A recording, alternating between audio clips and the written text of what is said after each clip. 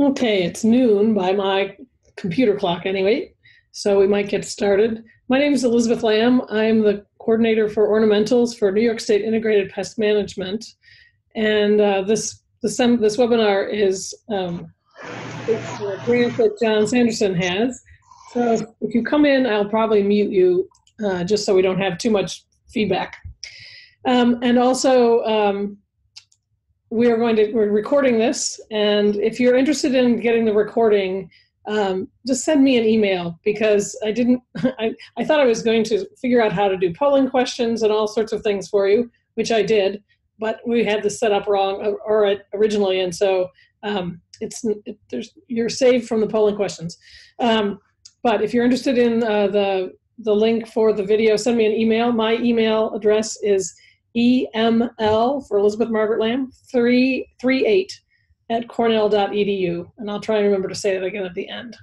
So I would like to introduce our speaker for today. John Sanderson is in the Department of Entomology at Cornell University. And today, the Whalens. Um, whoops, make sure everybody's muted, except, except for John. Um, and take it away, John. It's all yours. Oh, well, by the way, sorry. If you have questions, I knew there was something. If you have questions, oops, you're muted, John. Sorry, now you're unmuted.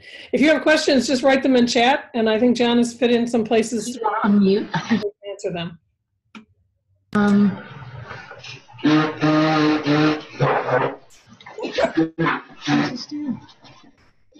I'm going to mute everybody, Jen, and you're going to have to. That just okay. worked. I'm just going to unmute you. See if that works. Okay. Am I am I there? You're there. Hopefully Thank people you can... all.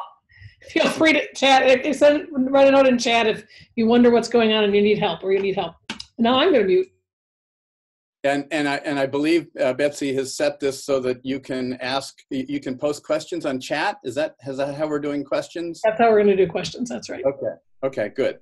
All right. Well, uh, uh, uh, good afternoon, everyone. Um, uh, my name is John Sanderson. I'm a professor here at Cornell in the entomology department, and uh, I work on uh, pest management of greenhouse crops.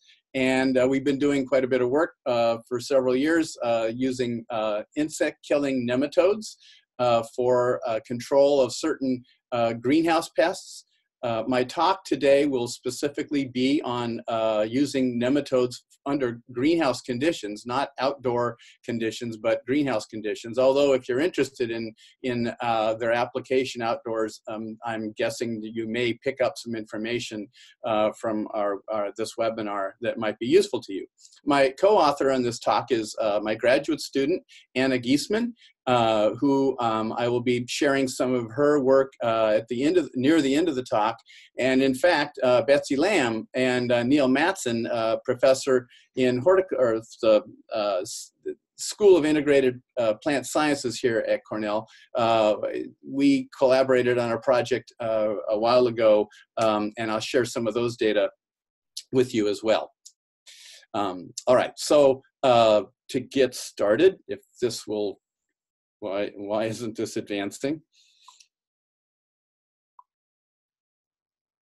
Hmm. This is not, okay, I'm, I'm gonna have to get out of this and start over. Uh, is that okay, Betsy? Okay, I can see on the bottom of my screen now that my, my bars there, I can't see it, but there's a I could see an advancing. Oh, there. Oh, down there. Yep. Try that. Yep, that works. Okay, that's what we're going to do. Okay. Thanks. Thank you for that. All right, and this uh, this project has been funded uh, by a, uh, a, generous grant from the New York uh, Farm Viability Institute, as well as a USDA uh, Hatch multi-state project um, and uh, and also uh, resources from Cornell University that have uh, uh paid for Anna Giesman's uh, uh, re research associate position. Um, so what we're going to cover today, first of all, I'll give you some background on nematodes, who's using nematodes, what are nematodes, and some of the key pests in greenhouses that we use them against. Uh, we'll talk then about uh, using, uh, using nematodes, how to apply them, uh, some of the available products, uh, steps and tips on using them and some of the technology for application. And then uh, we'll end up with talking about ensuring efficacy, uh, making sure they work well, uh, pot potential pitfalls that you may run into, um, some research projects uh, in, in my lab that we've been doing, uh, and then uh, very briefly talking about integrating nematodes with other control options for, for certain pests. So, um, uh, in two, uh, Greenhouse Grower Magazine came, uh, they, have just come out with a recent one, and I don't, don't have the data from that, but uh, they did a, a, state of the industry report, uh, and in uh, the results I'm showing you here is a nationwide survey of greenhouse growers and in uh, 2017, 975 uh, respondents uh, to the, the survey were uh, recorded. Uh, and of those, they were looking at biological control, and 63% of, the, of those 975 respondents nationwide are using biological control. Um, uh, and it, one of the biggest crop protection issues that are driving that is dealing with thrips, uh, thrips control. And of those growers that are using biological control, uh, the majority of them uh, are using nematodes, at, at, including nematodes, maybe other things as well, but including nematodes as the best solution.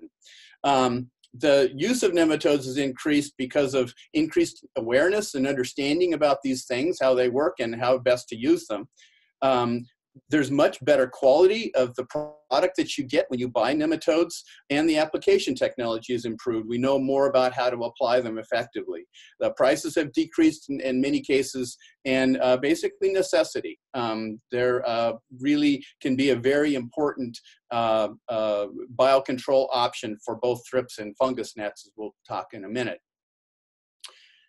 Okay, so what about New York State? Uh, specifically. We did a, it happens the same year, we did our own survey, uh, just coincidentally. Uh, and uh, we looked at, uh, I asked growers in uh, the winter plant schools that we have around the state.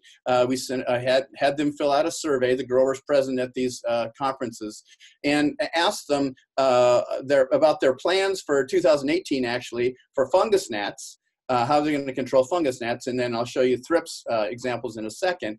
And so these are the results of the survey. 40% um, uh, plan to use insecticides exclusively for fungus gnats, but the rest of the growers were going to incorporate biocontrol in some form. And then if we look at what biocontrol agents for those growers who are using biocontrol, can you see my cursor? I hope you can see my cursor. Anyway, so these down here are the growers that are using biocontrol, what they're going to use. 42% of them are using nematodes. Now they may be using a combination of nematodes and something else or just nematodes. I don't know that, but 42% were including nematodes in their, in their uh, uh, uh, control strategies. Um, as far as thrips go, uh, a little bit less are, uh, uh, or a little bit more are uh, um, using, planning on using insecticides. But again, a large, a majority of growers are incorporating some form of biocontrol for thrips in their greenhouse.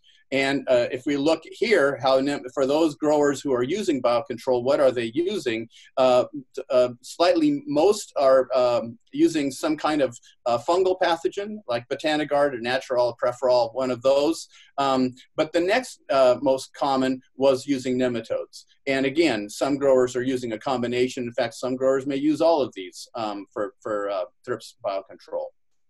So it's not an, an, an unpopular thing to do. Uh, a lot of growers are using it. Um, some basics about nematodes then. Uh, first of all, it's probably the most, there's uh, estimates that it is the most abundant land animal on Earth. There are a lot of individual nematodes on Earth. Um, uh, they do all kinds of different things, but they may be the most abundant. Uh, they're also called roundworms. They're in the uh, scientific phylum uh, Nematoda, and they are harmful uh, species that are plant pathogens. Uh, uh, they're also helpful species, which are the ones we're talking about now, helpful to, as far as we're concerned, uh, insect killing nematodes. And there's also a lot that are just saprophytes that basically help recycle nutrients in, in, uh, in the soil environment. Um, for biological control, again, we're interested in the helpful species. Uh, these are the insect killing or entomopathogenic nematodes, sometimes abbreviated EPNs. Um, there's really almost no risk of resistance. Never say never in biology, but it's very unlikely that there's going to be resist, uh, resistance to the use of nematodes.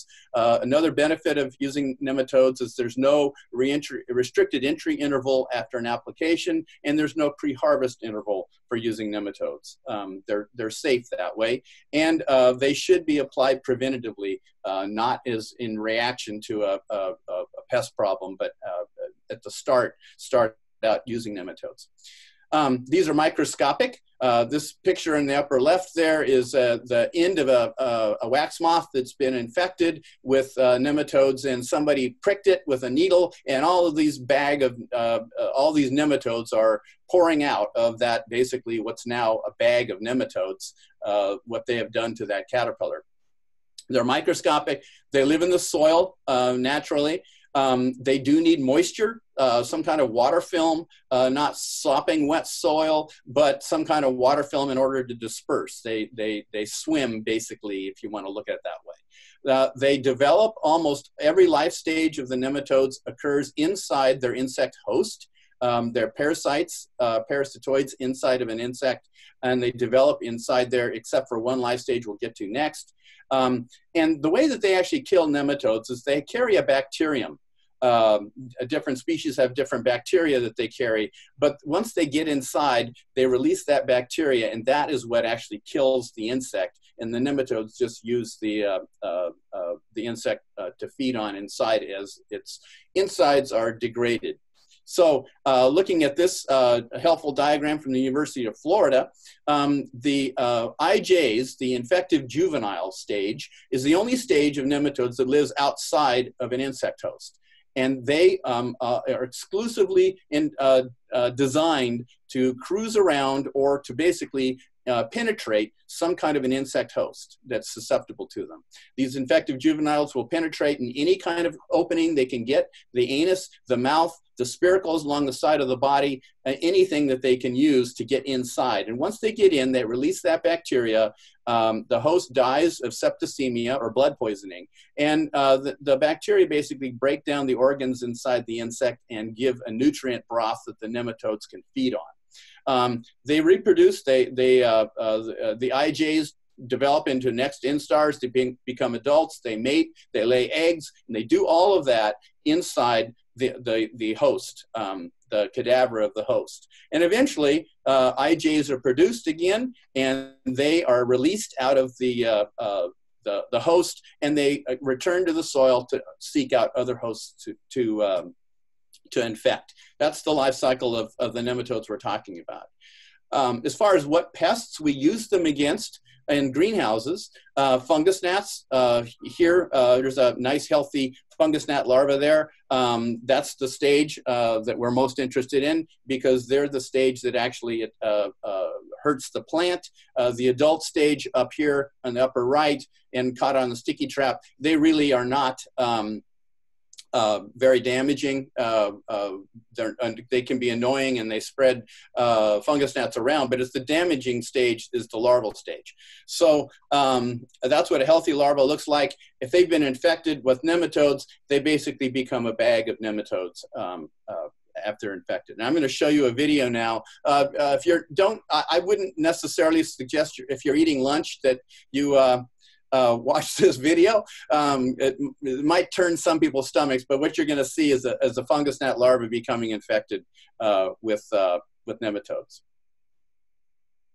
This is a, a, a film we shot uh, a couple years ago. So here's a healthy nematode or a, a healthy fungus gnat crawling through uh, uh, soil media in a petri dish.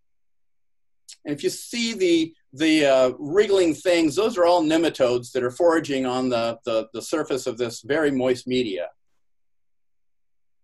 And then uh, if you kind of uh, hold your eyes steady, you'll see a lot of motion, and those are lots of nematodes here. And here's a healthy fungus gnat that's crawling through a field of nematodes. And then here's a combination of uninfected and infected nematodes. The infected ones, they're dead, uh, and they're, um, they change color. You can see that they, the uh, other nematodes are attracted to the body of an infected nematode. You can see um, them covering the, the, the body of, uh, of, of a fungus gnat. I keep saying nematode, fungus gnats. And eventually, uh, the body gets cloudy because it's full of bacteria now. And now we're getting to the bag of nematodes stage, where there's not much of a fungus gnat. You can still see the head capsule over here, but there's not much left. And if you look inside very uh, clearly, you can see just writhing nematodes inside uh, what's left of a fungus gnat.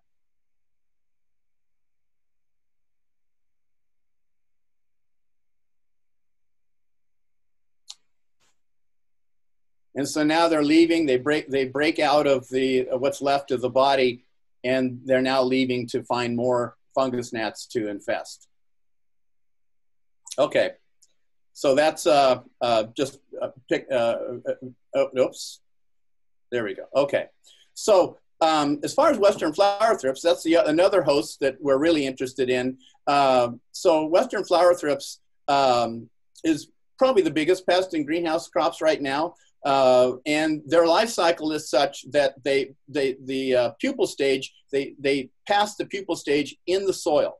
And that's really the target of using nematodes. The fungus gnat larvae live in the soil, the, and the western flower thrips pupae live in the soil. And that's where uh, nematodes do the best work, is in the soil. And so that's our target, is the, uh, the um, uh, stage of uh, western flower thrips that is in the soil, not on the foliage. Okay, that's our target. As far as uh, which thrips that we can use these against, uh, we, uh, you can't necessarily be successful with nematodes against any of the thrips. Uh, Western flower thrips, absolutely, that's the main target, and uh, they do work against Western flower thrips. Onion thrips, uh, some recent work by Sarah Jandricic in uh, Ontario, Canada, has shown that uh, a significant portion of thrips on greenhouse floral crops might be onion thrips, and they're very difficult to tell to, uh, apart. Although she did, she has provided at her website in uh, uh, OMAFRA in Canada, in Ontario, a key for growers to use with hand lenses in order to tell the two apart. Um, but as far as uh, echinothrips, also called poinsettia thrips, which occasionally are being found in greenhouses now on certain crops, and uh, the, the, the, greenhouse thrips is actually a thrips called the greenhouse thrips. They, it's, they are not effective against those two species. And the reason is because these, these thrips don't pupate in the soil. They actually pupate on the, uh, on the plant itself, and the nematodes aren't as good when they have to deal with the plant. So western flower thrips is really the best target for using nematodes, and it's the most common thrips that we have. So before infection, uh, you can see on the left here, this is a, a yellow uh, colored uh, uh, uh pupal thrips, and you can see this nematode that's kind of curled up next to it, uh, trying to find a way to get in. After it's been infected, it turns sort of a brick color depending on which species of nematode you're using. But this is a, a so this this is a, a, a dead uh, thrips pupa, and there's actually a nematode coming out of its uh, anus in this case. And then here is just a, a, a, a video, very brief video that that uh, Anna, my graduate student, shot, and it just shows you that these things um, are inside the body. Some outside, but some inside.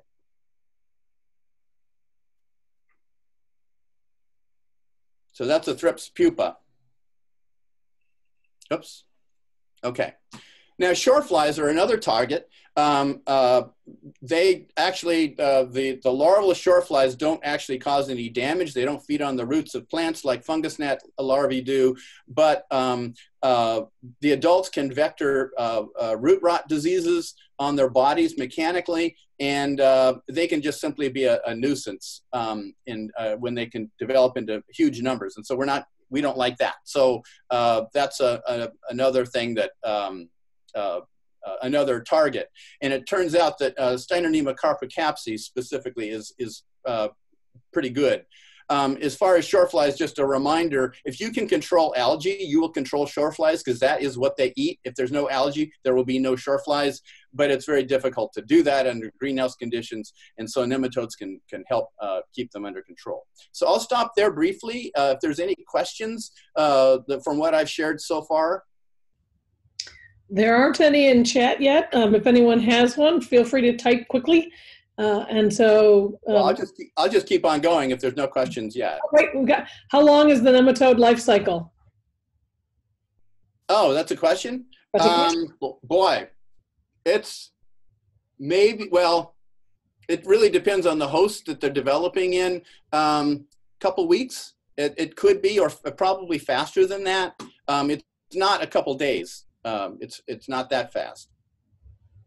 Okay, thanks. Okay, I'll go on. Oh, yep, and then for any, any other future questions, feel free to just write them in the chat. Okay.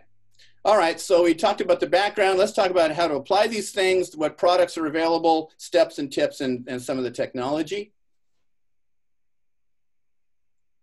Okay, so the widely available nematodes that are commercially available, the Steinernema feltiae, Steinernema carpocapsae, and Heterorhabditis bacteriophora.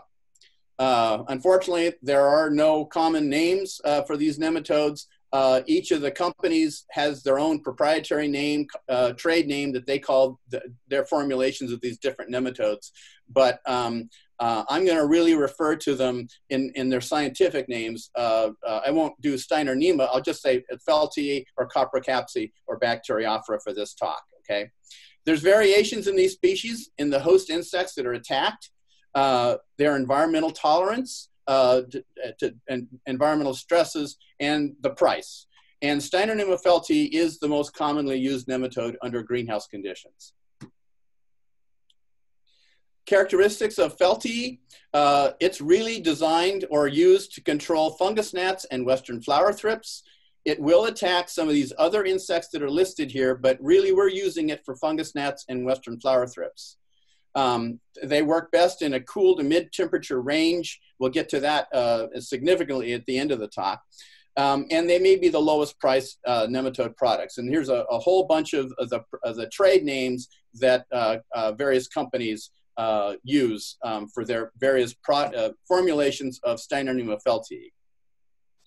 Um, Steinernema carpocapsae is uh, really marketed to control shore flies. This is the one that really is good against uh, uh, shore flies. It'll also attack these other uh, insects listed here as well.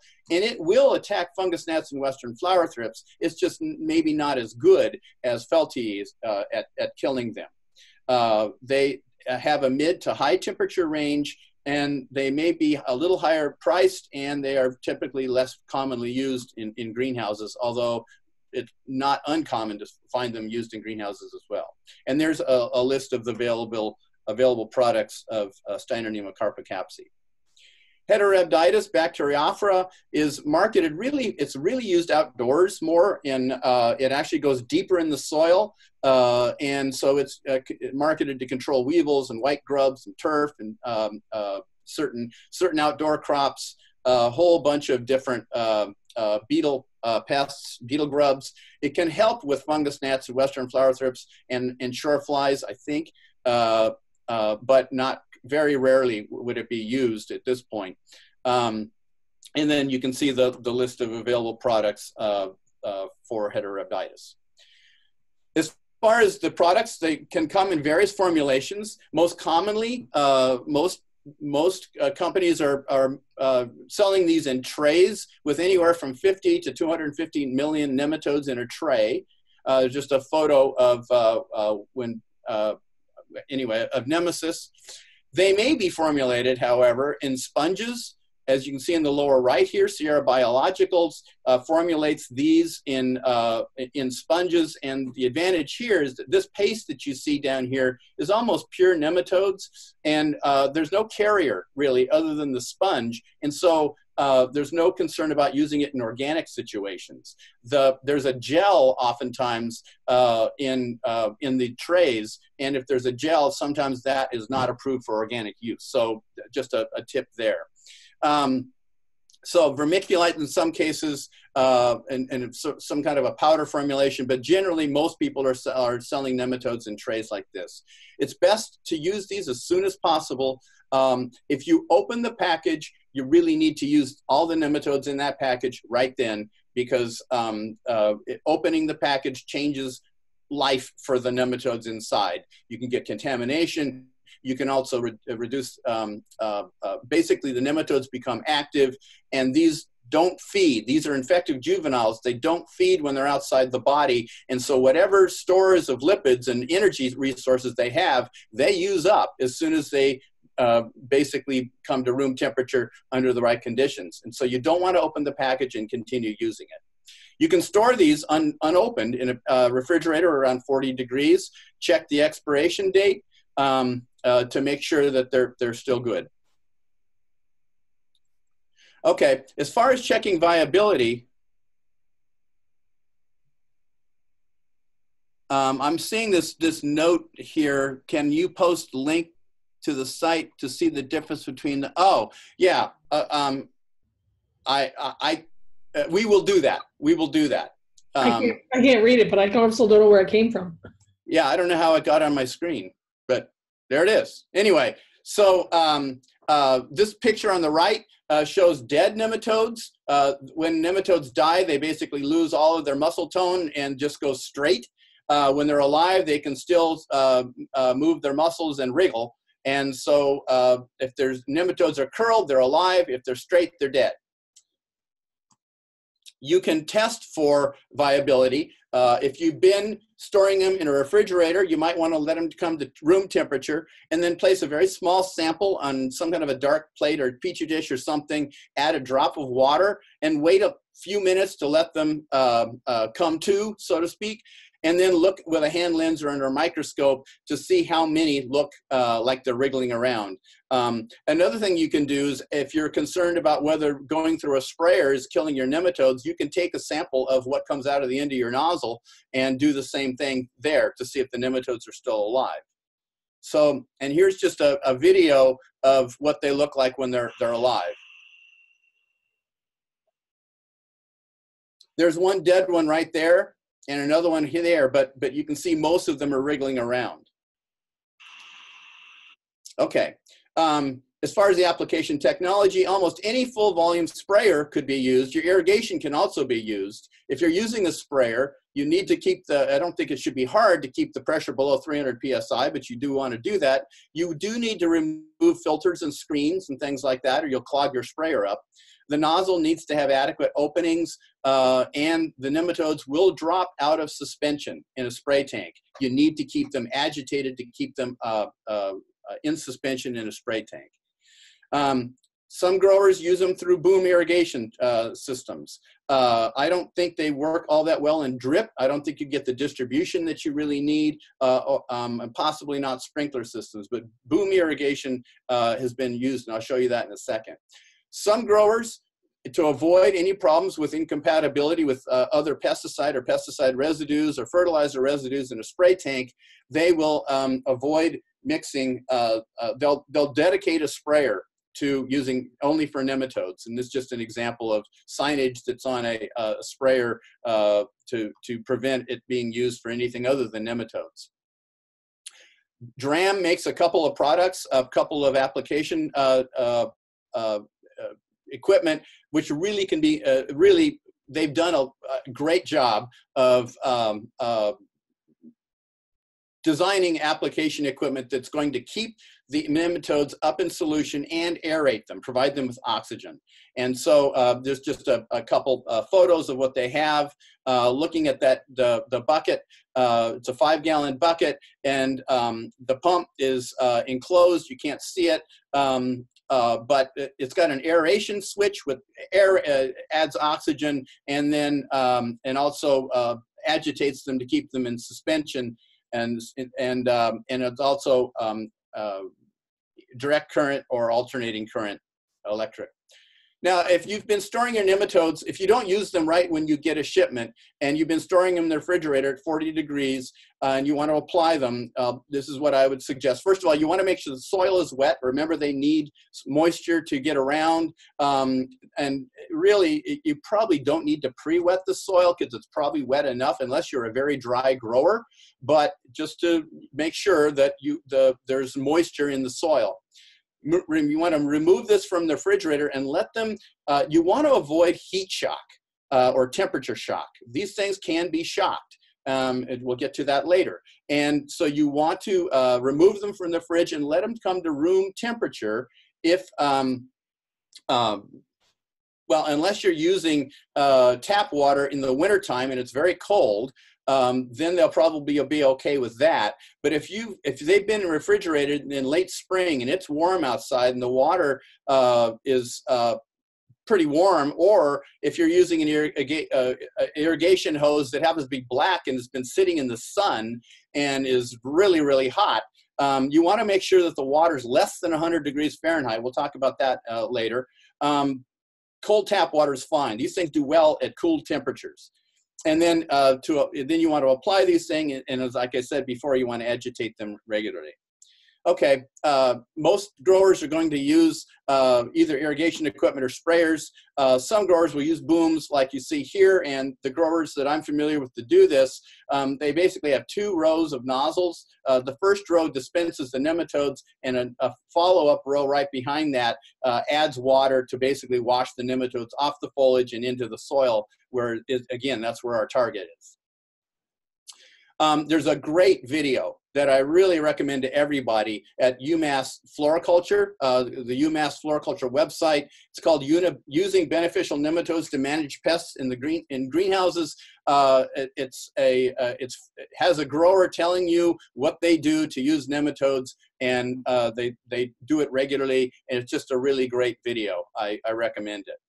Okay, any questions up to this point? Don't have any so far. Does anyone want to type type quickly? You must be very clear. Nah, no. it's, this must be old stuff to an, a lot of people. Right. We'll get to the new stuff now. Oh, here's one. Do big growers accommodate for regional nem- nematodes? So, um, so the nematodes are coming from uh, most of the nematodes, not all, but most of the nematodes. Um, well, example, for example, if you're if you're getting BASF nematodes or uh, BioBest nematodes, they're coming from from uh, uh the UK, uh, and they they rear them in, vi- in in vitro, not in actual insects. They they, rear them in giant tanks, and uh, so there's not really any kind of a, a regional difference in the kinds of nematodes that you're using. You, you'd have to have your own production of, of nematodes from different strains in different places.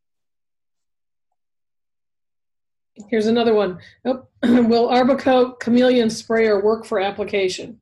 Oh, I'm sorry. I am not familiar with with that sprayer.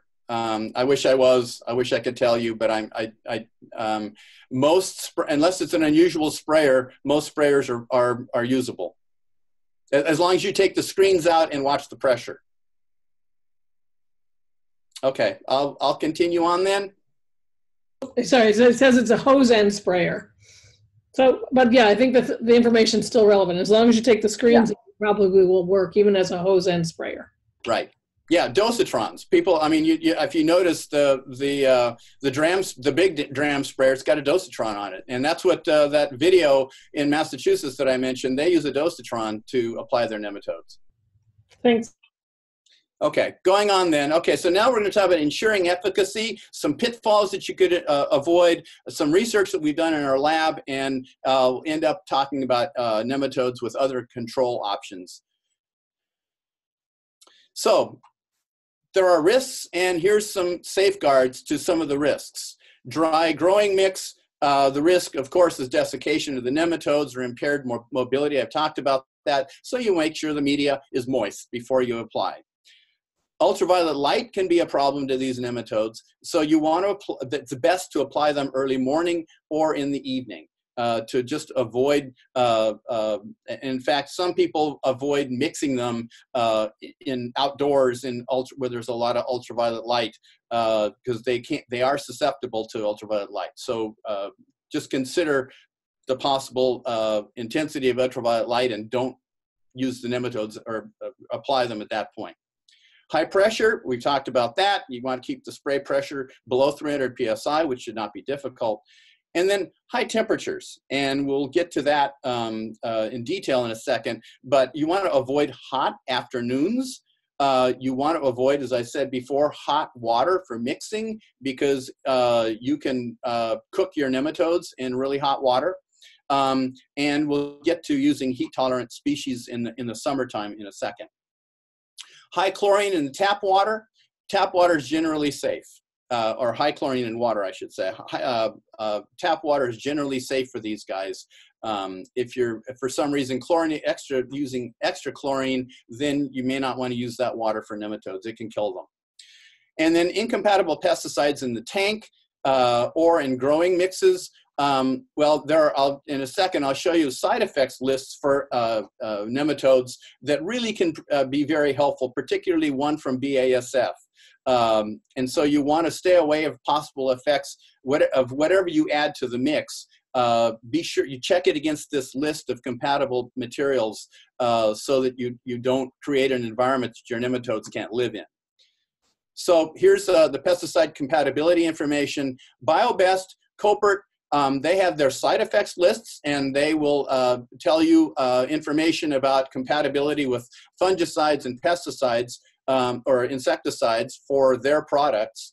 Um, and most uh, biocontrol company websites that sell nematodes will have information about compatibility. But the BASF compatibility chart really takes it to a new, new level. They talk about adjuvants, insecticides, fungicides, um, they tell you which ones are suitable for tank mixing. They talk about which ones need to be applied separately. And then for those, those that need to be applied separately, they'll tell you if you need to wait seven days before from one application to the next, or they'll tell you if, if you need to wait 14 days. And I've got a link at the bottom there that links to their compatibility chart. You can download it, it's a PDF, and it's really, really good. Okay, so um, some research that we've done. How often do you need to apply these things? Well, that really depends. Uh, well, we'll come up to a, a general uh, uh, answer in a second, but I'll show you some of the things we've done to figure, try and figure that out. So, how long do how long do they persist in the growing media and continue to kill insects? Right. Um, that's what we're we're asking here. The commercial recommendation usually is every week or every two weeks. Some claim every six weeks is adequate, um, but again, I'll show you in a second, it depends. Um, what we did in, in this one experiment is we, uh, uh, we looked at Nemasys, a native New York strain of nematodes, and then Steinernema system. Uh, these are both Steinernema feltiae uh, products. Um, we did a single initial drench of a, a very high drench, a high rate of 36,000 uh, infective juveniles per pot, or in nematodes per pot. And um, then at, we applied them all the same day, batches of, uh, of pots of uh, uh all the nematodes went on. And then through time, we would add 30 late instar fungus gnat larvae into the pots and then wait two weeks to see how many of those nematodes we put in the pot survive. So, in other words, after, uh, in one set of these dishes, um, we applied the nematodes, waited eight weeks with the nematodes just sitting in the pot, and then we added fungus gnat larvae to see how many actually would die after the nematodes had been sitting in the pot for eight weeks with nothing nothing to do. Um, five pots per treatment. Now, a really important point here is that these were sub-irrigated. We basically didn't want to rinse any of the nematodes out of the pots, and so we put them in pans of water to keep them wet. And so uh, the nematodes really stayed in the pot. And then uh, again, after two weeks after reducing the fungus gnats, we we uh, uh added the uh, uh, we counted the adults on those sticky traps in the pots. And this is just to show you the cages we used. We were concerned that fungus gnats flying around the greenhouse might get to the pots, and so we put the all the plants or the pots in cages so that they no extraneous nematode or uh, fungus gnats could get to the pots. And here's the results. This is the percent mortality of fungus gnats after a single application of nematodes. And Nemasys is in white, a New York strain, which really didn't work very well, a native New York strain, which is not commercially available. Uh, we, we threw that in, and it, it, uh, it, you can see it didn't work very well. And then Steinernema system is in blue. And what I want you to see is that under these conditions, even after eight weeks of the nematodes just sitting in the pots, we got, um, uh, compared to the control mortality, very high mortality with both the Steinernema and the Nemasys um, uh, system. Um, so eight weeks of, uh, uh, they would kill nematodes after eight weeks of sitting in the pots. Now, um, that's pretty amazing. I, that, that astonished me that th that worked. But if you think about what we did, um, let me see. The pots were sub-irrigated and overhead watering for your cases, most growers are overhead watering. It's, it's likely to wash nematodes out of the pots. And so what I'm telling you is the irrigation method can really make a difference in terms of how often you need to apply, um, uh, uh, apply make an application to nematodes. So we did more experiments with this and uh, I won't go with all the detail, but basically what we found is that mortality stays consistently high for two weeks after an initial application. After that, it really depends. Um, irrigation system, uh, uh, uh, media, other things like that. So um, I want to say you should apply uh, these once, at least once every two weeks, at least for fungus gnats. We didn't do any of this work with thrips. We only did it with fungus gnats, so I, I can't actually say how well that would work for thrips. But my guess is if it will kill fungus gnats, it's likely to kill thrips. But don't wait any more than two weeks. Okay, effective growing substrate. Now we didn't do any research on this uh, directly, but if you could, most growers are growing in a peat-based uh, growing mix, and nematodes really seem to do well under those conditions with moist uh, with moisture there. If rock wool, there's a much better chance that they're going to be washed out uh, depending on you know what kind of uh, uh, hydroponic or what kind of irrigation system you're using, you could wash the nematodes out of rock wool much easier than in a, uh, in a peat substrate. Uh, the the nematodes aren't used to, if you will, if you want to look at it that, that way, aren't used to a rock wool substrate. They're much more used to a, a peat-based type situation. Um, as far as temperatures go then, we did some work looking at cool temperatures on nematode control of fungus gnats. Um, so the question is, will fungus gnats still be a problem at cooler temperatures or do the nematodes still work when the temperatures are cool? And what we did here, and this is the, the work that Betsy uh, Lamb and Neil Mattson were involved in, uh, we did these experiments in growth chambers where we could control the temperatures. We had warm chambers that were set at a constant 75 degrees Fahrenheit we had cool chambers that were set at a constant 55 degrees Fahrenheit. And in these cages and with plants in pots uh, with uh, uh, peat-based media, we, uh, we threw lots of fungus gnat adults. So we had a really high infestation of fungus gnat uh, in, uh, in these pots. We did two Nemasys drenches two weeks apart.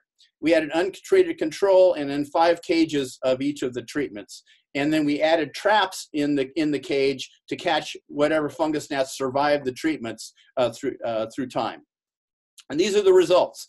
If the, the light blue bars are what happened under warm temperatures at constant 75, you can see we, we had a, a reduction in uh, nematodes. Again, really high infestations of fungus gnats. And so uh, it's about a 40% reduction um, in this case. Uh, and it was not done preventatively uh, like you should do um, uh, under commercial conditions. And the other thing, though, is under cool conditions, you can't see the difference here, but actually there was a 60% reduction um, using uh, nematodes under cool temperatures. Basically, the point is uh, the fungus gnats are not going to be as much of a problem. They don't do all that well under cool temperatures either, but the nematodes were still killing them. And so just a, a, a, just to take those graphs and, and talk about percent control. The warm temperatures, we saw 40% control uh, with high infestation of, uh, of fungus gnats um, and not preventative control. and the cool temperatures, um, 60% control. So basically, the Feltiae nematodes work great uh, under cool temperatures, if, if that was a concern. What about high temperatures? I, we said before you want to avoid hot afternoons, hot water for mixing, but our question was how hot is hot? What do we mean by hot? And so experiment four, I put in quotes because it's really uh, a series of experiments that my graduate student, uh, Anna Giesman, has been doing uh, for her master's thesis. Uh, she's been looking at the effect of high temperatures on uh, three different species of uh, insect-killing nematodes, Heterorhabditis, Steinernema carpocapsae, and Feltiae. And what she did, and this, uh, the results I'm going to show you here, she's doing, uh, it's still ongoing. She's still doing more research, but what she has done so far is exposed all three of these species and three strains of each species to temperatures of 86, 95, 104, or 113 degrees Fahrenheit. And each of those temperatures for either one hour, two hours, four, six, eight, or 10 hours. So we wanted, so there's a duration, there's a temperature factor, and then how long can they handle temperatures for that. She, and, the, and she looked simply at, at this point, looked at survival. What, how many, Well, how do, how do they survive? She's currently doing infectivity tests. Basically, those that do survive, can they still infect fungus gnats, which is a different question. Um, but in terms of sur pure survival, I'll show you some of those results and so just a, a, a poor Anna, uh, I take all this work she's done and put it in one slide, basically. But the take-home message, tentatively, is that for Steinernema feltiae, and these are product names for it, it is the most susceptible to high temperature.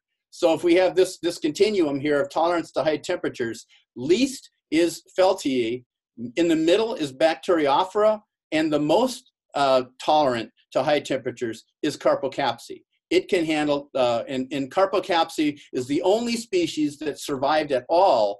Uh, it was only for one hour, but they could survive at 113 degrees Fahrenheit. So there's more research yet to do, but we may be able to use heat tolerant species. We may switch if you're going to be growing in hot conditions, uh, maybe not in the Northeast, maybe in the Northeast, but uh, particularly um, perhaps in the Sun Belt uh, in, in summertime, if the temperatures in the substrate or the water that you're mixing the, uh, the nematodes in is going to get really hot, uh, you may want to switch to something like Carpocapsae. Okay, another, com uh, another thing that I want to point out, this is just a, a, a quick, a fairly quick and dirty experiment looking at uh, how well uh, Steinernema uh, in blue bars compares with Steinernema feltiae in green uh, compared to the control of fungus gnat control and at, at three different rates. And what you see right off the bat is Feltiae is way better than Carpocapsae is at room temperature. This experiment was done at room temperature. It's way better at room temperature against fungus gnats. Um, uh, Feltiae is than Carpocapsae. But if we were to do this under higher temperatures, um, and you know around 95 or something like that, uh, this graph would almost certainly look very different because most of, well, in fact, a lot of the Feltiae nematodes would be dead because they can't handle that temperature. So uh, high temperatures can make a big difference. Okay, then I briefly, I want to go into uh, integrating nematodes with other beneficial arthropods. Um, first of all, as we said, the nematodes kill the pupal stage of, of uh, uh, thrips in the soil as well as fungus gnats. But for thrips control, um, for, on the foliage, uh, uh, Neoseiulus cucumeris or Amblyseius swirskii, those mites, they're predatory mites, they kill first instar thrips on the foliage.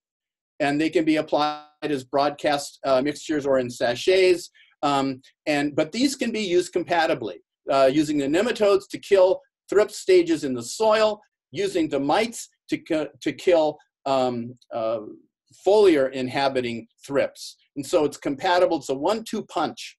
Uh, uh, if whatever the cucumeris or Swirskii lets, uh, misses on the foliage, when they drop to the soil, they might be killed, hopefully killed by the nematodes. Um, other compatible biocontrol com combinations, certainly predatory bugs such as Orius compatible with the nematodes, and with pathogenic fungi such as Botanigard or PreFeRal or um, uh, anyway, those fungi can be compatible with, uh, with the nematodes. However, just as a note of uh, information, Botanigard may not be compatible, compatible with Orius. There's some uh, good suggestion that Botanigard can infect and kill Orius. So just make sure you understand that. As far as uh, combinations for, for fungus gnats, the nematodes are compatible with the mites that might be used, uh, Stratiolaelaps, or uh, used to be called Hypoaspis. Uh, soil-dwelling mites that kill uh, soil-dwelling arthropods, the nematodes are compatible with them. Uh, they're compatible with Gnatrol, this bacterium uh, that you can use against fungus gnats, and they're compatible against rove beetles. At least Steiner, Steinernema feltiae is compatible. There's some evidence that Carpocapsae may be less compatible uh, against rove beetles, um, but uh, feltiae we know is compatible. And as far as hunter flies, Coenosia attenuata flies that uh, may be active in your greenhouse, um, we don't know. No one has looked at whether they, uh, your, the nematodes are compatible with those or not. So uh, as far as resources uh, that uh, may be useful to you, I already mentioned the UMass Greenhouse Crops and Floriculture Program. There's that video is there, uh, and, and you can get to that from this website. BASF, BioBest, and Koppert, they have guides for uh, pesticide or, or product compatibility with nematodes. There's further nematode information at Michigan State websites, uh, Rutgers, and as well as Cornell Cooperative Extension. And you certainly could email me or, or my graduate student if you're interested specifically in temperature information in nematodes, uh, Anna Giesman, and that's her um, email address down there. So I think that's it. And I would be happy to try and answer any questions. So this is Betsy. I looked up the chameleon sprayer, and the two things that I would wonder about is it's got a fairly small volume. So, excuse me, I'm sure that by walking around and using it, you're going to get the agitation, but it might not hold enough to, to be very efficient. And the other thing is you're going to have to figure out the rates, I think, with that. Um, to know how much when you, when you put the amount of nematodes in that container that it's spraying across, because it's using like a Venturi system. Um, what you're getting. But here's a question for John. Are there any active, any nematodes active at temperatures between 35 to 45 at night for black vine weevil? Oh goodness. I'm I'm I'm not as familiar with with uh, how well well I uh, the the typical nematode that would be used for black vine weevil would probably be Heterorhabditis and I'm not sure how low it can go. Uh, we've been looking at high temperatures. It it typically is a more mid-temperature uh, nematode, but I I really don't know the answer to that. I apologize. Uh, so I, I, could look it up and and uh, get back to you. So Elson Shields has been doing some work with black vine weevil and some of the ones that survive in New York. Now, whether or not they're active at that, yes, Richard, they will persist through a cold winter. Yeah. Oh, we know. I mean, uh, Elson Shields, his lab, uh, he's been looking at native New York strains of, of uh, Feltiae, Carpocapsae, and Heterorhabditis. He's got all of them, and they persist and can persist in uh, alfalfa fields in upstate New York. And so we know they can persist, but again, uh, like you're saying, we don't know if they're effective uh, or active at those temperatures. I have another question for you. I watched a workshop from Cornell about growing them do it yourself. Would I be able to grow my own nematodes for Carpocapsae and Feltiae? Yes, you can. Um, we actually published an article in Grower Talks magazine two years ago, I think. And if you went to Elson Shields' website, uh, he's a professor here at Cornell. He uh, he developed a uh, a basic a recipe for uh, alfalfa growers to use to rear their own uh, nematodes. Um, and I know there's at least one grower who did successfully for a while rear their own nematodes. Um, a rather large grower here in upstate New York uh, reared their. They did both Carpocapsae as well as Feltiae, uh, and uh, used them uh, very well. On, but it is it does take labor. That's the problem. Is it, it does require labor, and you need to be willing to spend the time to do it. It's not difficult, but it does take time and it doesn't smell very good. well, yeah, but your greenhouse growers, you know, there's there's things that don't smell so good. Um, so I have another question. Do you know where heterorhabditis are native to? Boy, no, I don't. Um, I'm pretty sure they're. I don't. I don't know where in the world they don't exist. Um, I certainly know they're in North America. Okay. Um, and then I have questions about uh, getting either getting a copy of the lecture to use the links or also having the web, webinar available online. And it will be, I will post it online. Um, and what I don't have is anyone's email address. So if you're interested in either um, a copy or the links or to know when the webinar is online, if you would send your email address to me or just send me a, send me a note. Um, and my email address is um, eml38 at cornell.edu. Somebody's sending me their, okay, one, one email address, but it's actually easier if you send it to me because I, I think the questions will be saved when I stop recording, but I'm not positive and I don't want to lose anybody. Okay. Are there more questions? Anyone else have questions? Can you repeat your email address? Yes.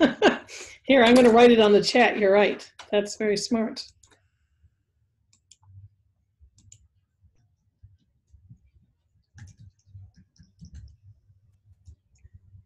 Okay, so I just sent it to everyone in the in the chat, but it's EML38.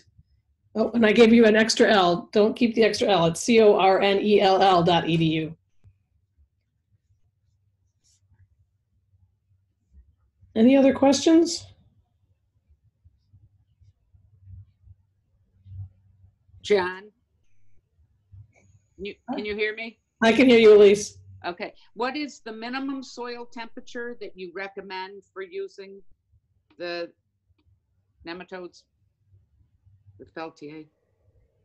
I, I bet you could at least, I mean, uh, uh, I can't imagine they wouldn't be uh, able to ki- do some killing at 50 degrees Fahrenheit. Uh, we did that, that growth chamber experiment at 55, so I know they work then. Um, uh, now, 40 degrees probably is going to be a little cool for them. They'd survive, but I, am not sure that they would, how active they would be. That's the temperature you want to store them at if you can't use them right away.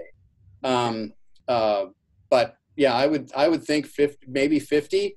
Um, uh, but fungus gnats uh, aren't going to be doing a whole lot at that temperature either. Mm-hmm. Thank you. Thank you. I don't see any other questions. Um, so thank you all for attending. Thank you, John, for doing the presentation. I'll get the email or get the, the recorded webinar up online as soon as I can. And uh, thanks a lot. If there's other topics that you would like to have webinars, send me an email for that too. I'd like to know what people want to see. Thank you. Thank you.